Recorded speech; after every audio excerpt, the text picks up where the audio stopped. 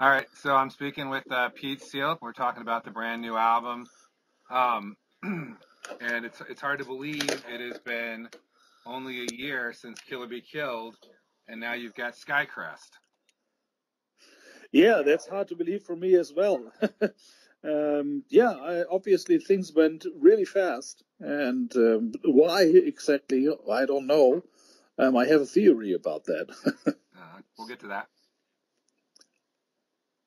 Yeah. Was, okay. Uh, well, I was going to say, yeah, could it could it be that 2020, the way it hit us so hard, uh, kind of left you like without any shows and without anything to do other than to just write and be inspired to come up with some great lyrics, or actually, that is what one would think, but it was pretty much the other way around. really? Um, yeah, actually, it was more that uh, that the, the previous album, "Kill or Get Killed," really had uh, such an impact, obviously, on me that uh, that it well, it's sort of like reverbed on on me, and um, so I got back to songwriting um, last year in summer already. So just briefly after finishing up uh, "Kill or Get Killed," and came up uh, quite immediately with uh, I think three or four songs. Um, so before autumn 2019, I already had like one third of the album pretty much done uh, in a uh, rather rough uh, way, of course.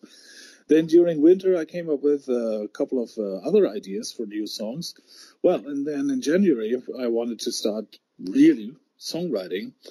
Uh, but then things came different. Um, our bassist was uh, diagnosed with uh, cancer, and that, of course, was very very hard and very tough information for us.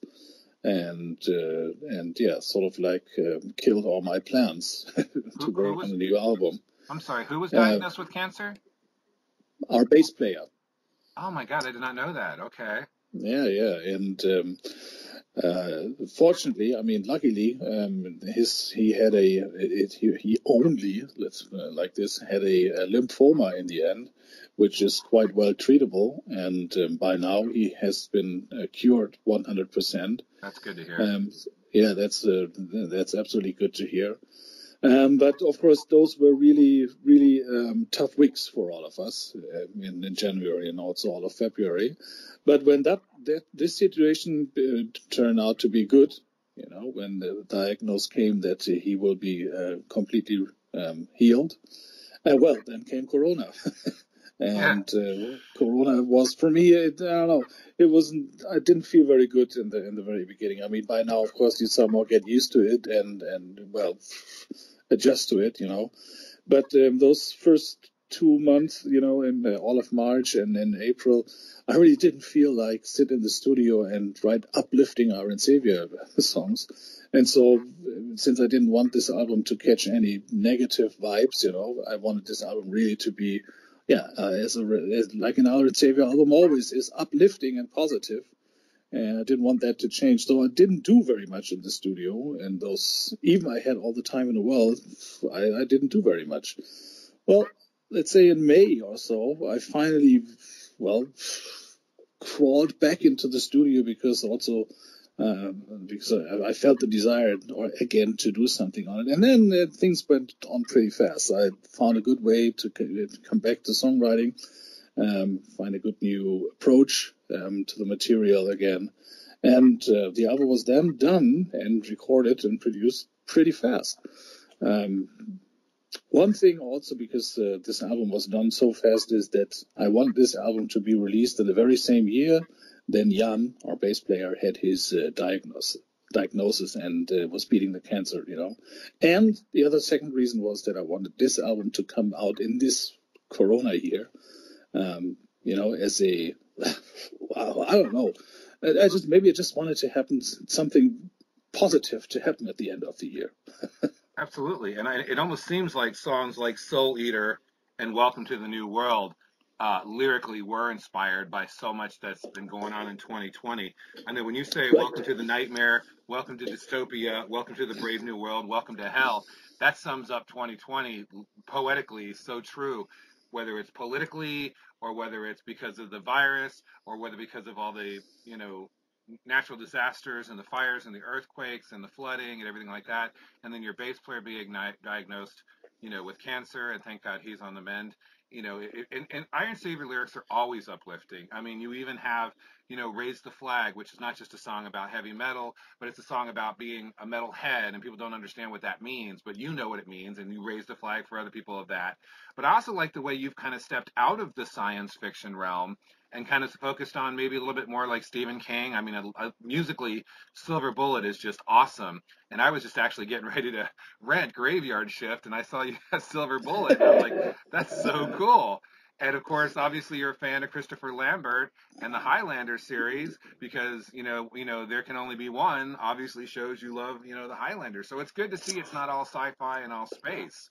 So no, no, you know. I mean, uh, no, I mean it's. Uh, yeah, I do love sci-fi and I do love space, but uh, yeah, I mean, the, besides that, there's lots of uh, other stuff that uh, also is on my mind. You know, it's of course it's real life. I mean, I'm I'm in my mid fifties. Right. I did see quite a bit um, in those past 56 years. And um, of course, there are some issues I may, can, and may want to talk about.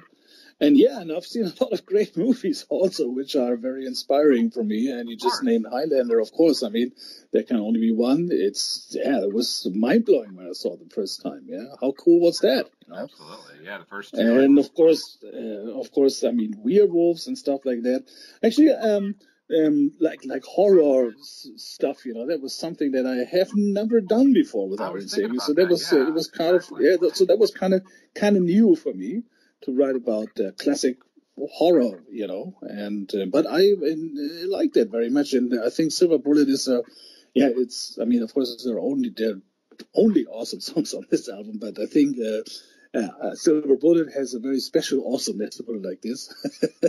I think I really like the, the the way the music and the lyrics and the whole uh, you know atmosphere of this song uh, works out just great for me. You know, um, I mean, if you if you put it on, if you put on your headphones and listen to the song, you really see this werewolf, this poor creature, and this conflict he's in, and, uh, and in the end he gets shot, and and you know all this these this this tragedy and and and and yeah, that that the werewolf theme has has to it. You know, I think um, it comes out in this song very nicely. Yeah, it does. I agree. It, whether it's the Silver Bullet or American Werewolf in London or any of the werewolf uh, lore, it definitely has that lycanthropy vibe. But the music is so good too. It's just like with the solos and, and, and the riffing. And you're right. It's almost like, am I listening to Iron Savior? Because a lot of these bands get typecast. It's like, oh, Primal Fear put out a new album, or you know, Hammerfall put out a new album, or even if it's just a live album this year. And a lot of these bands are starting to put out. People just like, oh, it's the same thing. It sounds the same. And I don't think that's the case with I. Don't think that's the case with Iron Savior at all. From the very get go, um, Skycrest seems to be the only thing that really has any kind of sci-fi vibe. Now, inter- incidentally, you named the album Skycrest. Um, are you a fan of the Mandalorian? Because his ship's called the Razor Crest. yeah, that probably uh, that, that that came later to me. That uh, of course, yeah. Have, uh, no, actually, you know, it's, it's quite embarrassing to say, but I think that the the the rich the original idea about Skycrest came from the very very old series. I don't know how old you are, but uh, there was this TV show called um, Falcon Crest. of course, I remember Falcon Crest. It was Yeah, of course, Falcon Crest, you know, and um, of course, I mean, uh, uh, that's that's I don't know. I, I saw this this this crest, you know, actually from Falcon Crest, Okay. and thought, ah, well, okay, maybe maybe Sky Crest it sounds. Actually, I had this. I had the, the the original or the work title of Sky Crest was um, Silver Crest. Silver Crest. Um, okay. But Silvercrest wasn't impacting enough, and uh, then well, and when I, then sometimes uh, then, then you know you're just lucky, and this wasn't planned, and um, I was just thinking of, of what I actually I don't know even know I can't remember what I was thinking of, and sorry it was just there. Yeah, Skycrest. Yeah, it sounds cool. Yeah, great name for an album. I'll do it. That's, that's, that's awesome. Yeah, I uh, just I was born in the late '60s. I just celebrated my birthday uh, Yeah, last week, so I grew up with a with mo- a mother and sister who were big fans of Dallas in the '80s and Who Shot Jr. And on CBS, Yeah. what followed was Falcon Crest, another boring day, an evening soap opera. But I get the whole idea of a crest of an insignia or of something like you know a, a exactly, mark. yeah. So that makes sense. Interesting. I thought it was you know because I don't have the lyrics. I kind of thought maybe it was like a a, a, a spaceship or something, and then they, they you know they call themselves the Skycrest or civilization. Yeah, I mean, of course, it's a little, it's a little, and, yeah, yeah. Of course, it's a little, uh, it's a little, uh, well, let's say poetical, political. no, um, it's, uh, it's, well, I mean, it's, it's, the Skycrest is an ode to the Iron Savior. You know, it, right, okay, it describes kind of what the Iron Savior is all capable of, and, and the greatness of the Savior, and and what he does. You know. So, well, the more that the more that Elon Musk keeps talking about civilization on other planets, and we keep finding all this stuff out. Incidentally, in 2020, in, in, in spite of all the tragedy and all the misery and all the chaos, there's been some tremendous scientific breakthroughs. Uh, you know, I guess they said there were aliens for a minute. The NASA acknowledged it, then it just disappeared. But I mean, there's been some other amazing things as far as like, you know, maybe there will be possibility, you know, when the meteor hits us in 40 years of, of, of colonizing other planets, or maybe the whole Iron Savior myth is actually really real. We're finding DNA more and more that show that possibly, you know, outer space had, you know, influence. So it's really interesting when science fiction becomes science fact. But I think it's fascinating that you are focused on you know, I mean, you even talk about the orange one kind of when you talk about the clown in Welcome to the New World. And I know with what we're going on in America and politically, it's just so apropos. But I also want to talk about the fact that you were in another band called Savage Circus. Um, is that on hiatus or? No, actually, I'm not in that band anymore. I mean, I I quit. No, no, I quit uh, Savage Circus ten years ago. Oh, um, did quit. Okay. No, well, I, I did to, quit. I just want to say your bandmates from that have been extremely active. Have you heard Thomen Stauch's uh, Mentalist yet? No, I haven't heard about that. Actually, I'm not. Um, I, I no, I haven't heard about that. Oh, because um, Jens Carlsson has a new Persuader album coming out next week. Yeah, I heard about that, of course, but uh, I think the last uh, Persuader album was already six years ago. So. okay, and even your former uh, drummer Mike Terrana is in a band from Norway called Gaia Epicus, and they have a new album coming out uh, this year as well called Seventh Rising. So it's kind of good that everybody's kind of keeping busy during 2020 doing what, you know, I guess doing what they do. The other thing I thought was fascinating is obviously, you know, you've covered Judas Priest and you've covered so many great bands. Uh, you covered Nazareth and we find out it's a Joni Mitchell cover. But, um, you know, it's it, you've covered all these great bands. And I think even if you listen to your lyrics, I find you say, you know, you, you start saying at the end, a silver bullet beyond the realms of death and finding peace of mind. and then you also say, hard, ride free. I think it's great that you're just uh, paying, you know, homage to your, you know, the bands that influenced you. Have you read Rob Halford's Confess yet? No, no, I haven't. I have been reading about that, but of course, I mean, it, it was for me. It was, of course, it's obvious. I mean, it's it was quite totally clear to me that uh, if you if that from beyond the realms of death, of course, somebody would who is uh, yeah uh, familiar with uh, with that, of course, would uh, would yeah just like you say, peek on that. Um, so that was kind of like uh, yeah. I mean, I was aware of that, and I put it there because it's uh, it was fitting, and it is a yeah also a homage. I mean, I think um, Beyond the Realms of Death is an awesome song. And um, of course, Silver Bullet has musical wise not very much to do with Beyond the Realms of Death. No, but it was, I hope not. no, but um, in, in, the in, in the in the well in the within the lyrical concept, it was fitting, and it yeah. was a little link, of course, to my yeah to my uh, to my where I'm coming from, you know. Yeah, no, it's fine. If you, I mean, you, you can quote so many different bands, uh, song titles and lyrics and have them fit to your lyrics, but it just shows you're paying homage. I just received the new Iron Maiden live box set today, and you know, you said peace of mind as well, and people can say, oh, just peace of mind, but to me, instantly, I think of Eddie, and I think of you know, this they do Revelations, and they do Where Eagles Dare. Oh, okay, peace of mind, but that's okay. That's wearing your influences on your sleeve, and I think more and more as Iron Savior evolves you really aren't even power metal. I mean, I know you started out with, you know, with Kai Hansen and Gamma Ray, and I cannot wait for the new Helloween and what Kai Hansen's doing with them.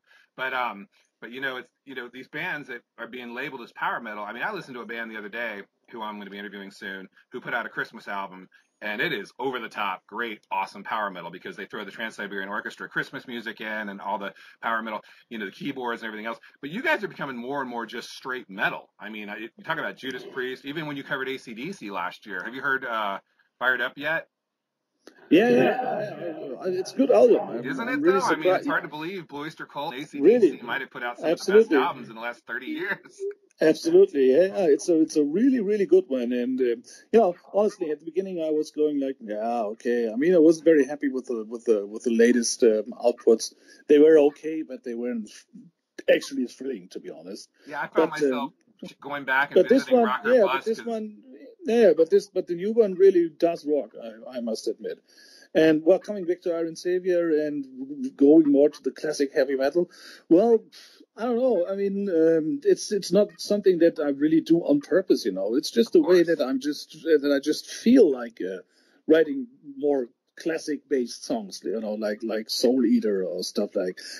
Honestly, I think in the end, um, what the, what is uh, the good thing about Iron Savior is that you can have a song like Silver Bullet um, on the same album, on the same album, and exactly, and, and by the way, and right next to each other, um, and the other one would be Raise the Flag, and both are working, and both are totally Iron Savior, and I think Right. that is that uh, well, that gives me the possibility to do my songwriting, you know, in a rather wide wider range, you know, as for example ACDC.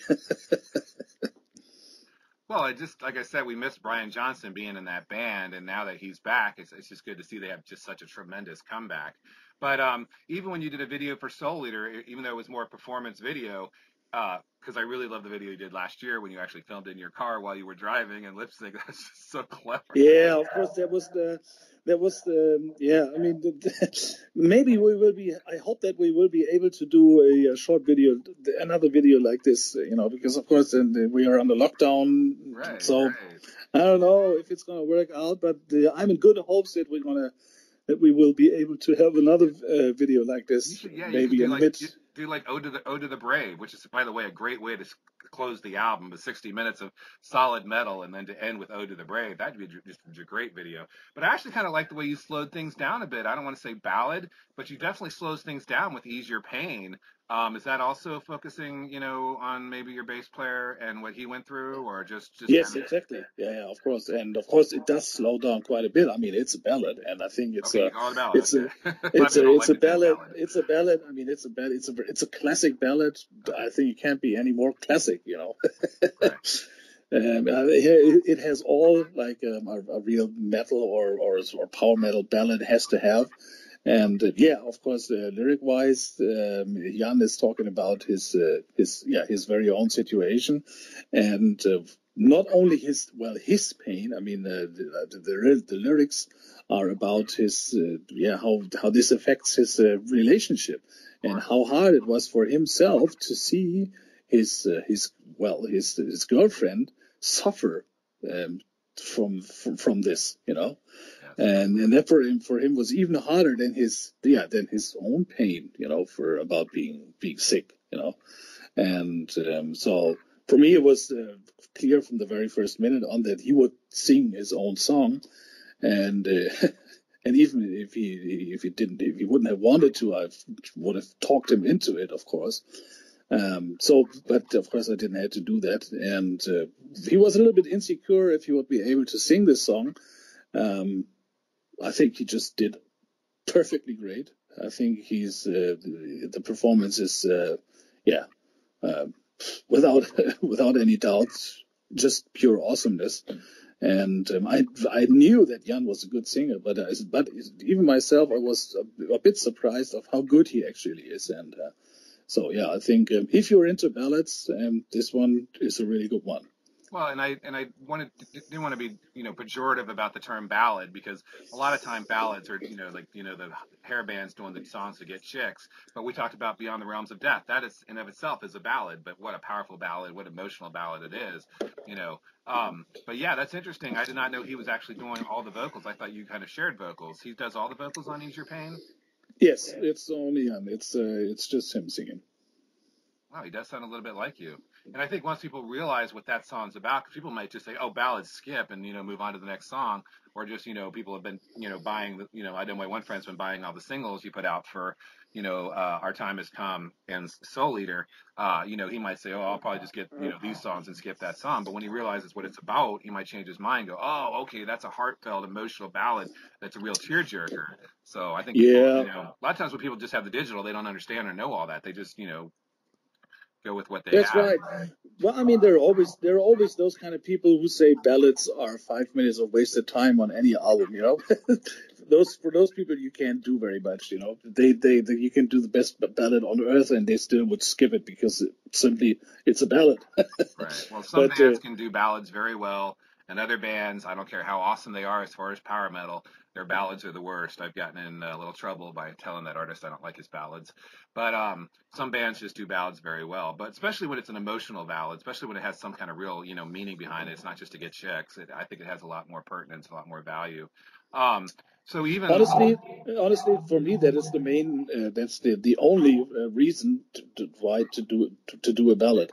You know, if you really have to say something, then then it's okay to do it as a ballad. But you know, this uh, this this just to get chicks thing Home is Home thing. ridiculous. Yeah, no, that's that sucks. Well, that's not that's not Iron Savior's vibe anyway. No, But no. but even but even Soul Eater lyrically has a real. Did did your did that also be inspired by your bass player? You know about what he's going through. No, no, no, no, no, no, no. That's all That is you? more. Okay. That's, that's that's more me myself. You know, as I as I just uh, said, I'm in my mid fifties, and of course, yeah, I had a couple of I had a couple of years where I really had some stuff I had to deal with. You know, and all um, right. of course problems which. Uh, yeah, which would kind of like would haunt me and, and Sure. keep me awake at night. And I think everybody um, had Oh, yeah. situations like this in life where you just simply, yeah, I mean, if, of course, in the end, you, you can't fall asleep, but you know, you go to bed, you switch off the light, and you close your eyes, and yeah, the the, the, the head keeps spinning around, you know, and Oh, yeah. um, that's uh, that's what I'm talking um, about in Soul Eater, and of course. Well, I mean, there is, of course, no soul eater um, in, existing, you know, but uh, Well, Harry Potter. metaphor, of course, you know. yeah. Harry Potter, I think but, but Eaters, of course, uh, I mean, you're probably, I mean, yeah, of course, but in the end, of course, it's it's a metaphor. It's a metaphor Metaphor, of course. uh, to uh, to don't get yeah to don't let you drag under. You know, you have to get rid of soul eater, destroy it, and face your problems and, and solve them because that's the only way how how they they go away and you you find back into a nice sleep at night. I have to admit, before I saw the lyrics, like, when I first saw the lyric, when I saw, first saw the video, um, and I saw the title Soul Eater, I'm like, wait a minute, Gamma Ray had a song called Space Eater. Now they got a song called Soul Eater, and it didn't really Yeah, hit exactly. And, and of course, I had I had Space Eater in mind. Um, Oh, We did that back in the days, of course, in the very first Gamma Ray album. There was, of course, Space Eater on it, Right, right. and of course, I gave that I gave that a minute of thought Okay. uh, if that would be okay to come up with Soul Eater now. But I said, nah, it's long ago, and the songs are not really alike, and um, it's different bands, different people. yeah, it's yeah, and it's a different, It's it's different safe to do all so. around because you're, you're talking about your soul devouring your thoughts and your mind and everything. It's interesting when I talked to Kai years ago about the song Space Eater. In America, we have a thing called a space heater, which is what my wife is using right now to keep herself warm. And I don't think Mhm, it made I sense know. to Kai. I was like, space eater, space heater. well, But, luckily no. you don't have a Soul Eater. No, I don't know. I might have a soul eater. keep my keep my soul warm until I go to Yeah. until I burn in hell. And well, as you as you say, as you say, welcome to hell, because if, if we we might be heading towards dystopia. Although I don't know, things are looking better. You know, things are starting to show. I mean, I don't know. I don't. America's so divided right now. Who knows what's going to happen? But we, we can only we can only hope for the best and raise the flag. That's right. That's right. I mean, actually, you you, you already mentioned the divide. I think that is your your main problem. And I mean, Trump, of course, wasn't the the, the wasn't the reason. He was just a symptom. You know, I mean, the rip was there before.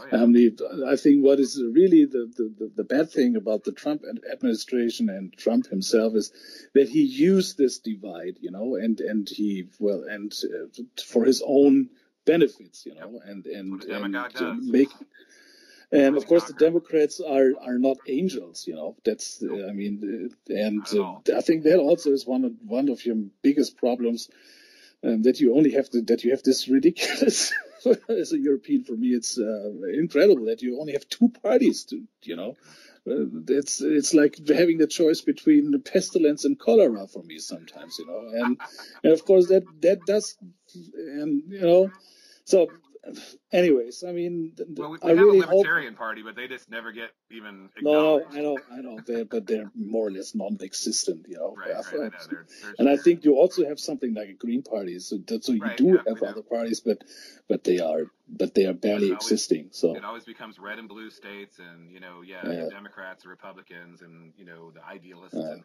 but yeah, as a I think I really, I really hope for you, for all of you. I mean, for for the entire American nation, that it will be possible to to heal this divide and and to move towards each other again. I think that is the biggest problem nationwide. That uh, and and I I think with Biden, uh, at you at least even if you don't like Biden, at least it will give the whole nation four years of, let's say, um, more relaxed or some time to rest and, and rethink, you know. I truly believe he wants to unite the American people, despite what Americans and Republicans think. I truly believe he wants to unite the American people. I mean, he's already trying to do everything he can to, to work with, you know, these vaccines and getting people and, you know, office to help. So I, I, I think he's got the right idea, regardless what anybody else says. I, I think he's got the right. I think his heart's in it. So we'll see. if not, well, you can write I mean, more lyrics later about what's going on in America. well, I'm really happy that it, it, it, I have to admit that I am happy that um, that my lyrics um, in uh, "Welcome to the New World" uh, now remains a utopia or a dystopia, and they didn't become true. well, yeah, I don't know. We want utopia, but we don't want dystopia. We don't want either or. We want something happy in the middle. So I mean, yeah. even Brave New World is like you know I don't think people really read Aldous Huxley. I don't think they really know what Brave New World's about. But no. um, you know, I I'm all about just raising the flag of metal. You know, and yeah, I know, you know, and like you said, the soul eater. We all have soul eaters, but you know, hopefully that you know it won't devour us, and we can find you know find peace and you know, you do always have positive lyrics in everything you in everything you do, and I think that's great that Iron Savior's attitude is always uplifting and always one of you know think good things and you know, look on the bright. Always Monty Python's always look on the bright side of life attitude. yeah, that's right. It's one of my favorite movies, by the way. always look on the bright side. Life of Brian. Yeah, Life of Brian. Yeah, me too. always look on the bright side of life. yeah, and that's what Iron Maiden opens all their sets with anymore, which is great. People don't even realize that's in the background playing. So yeah, good old Eric Idle hanging on the cross you know, life's a piece of shit when you look at it, but always look on the bright side of life. exactly. All right, Piet. Well, thanks again for a wonderful uh, interview. Another awesome, great album, and I think people will be really interested to find out, you know, what like Ease Your Pain is really about and what's going on with your bass player, and that you know you do have the, you know a mind outside of sci-fi that you do like other movies like Stephen King type movies and other type fantasy based and action type movies, and that you know you also watched soap operas, nighttime soap operas in the '80s, like Falcon Crest. Yikes! With, well, it was actually actually I did watch it. I did watch it when actually when it was uh, broadcasted. Um, the first time I watched the reruns and they were oh, something oh, like uh, like late afternoon, you know. And uh, and in Germany we had a very very very very very disappointing TV situation in those times. So you know, we didn't have all these private stations. We had very little TV stations, and so I mean, whatever was broadcasted, you had to watch it. yeah, should have had Fernando Lamas. He was considered the hottest man of the year in 1984. Oh man, times were different. Oh well. okay. Take care. Cheers. Michael, great talking to you. Have a have a great uh, day, or is it is it early? I think yeah, it's afternoon. It's early afternoon here. Seven hours. Yeah, yeah. Alrighty. So have a great day then. Enjoy the rest of the day and all the best. And uh, yeah, somewhere, sometime soon, hopefully. Take care. Bye. Alrighty. Bye bye.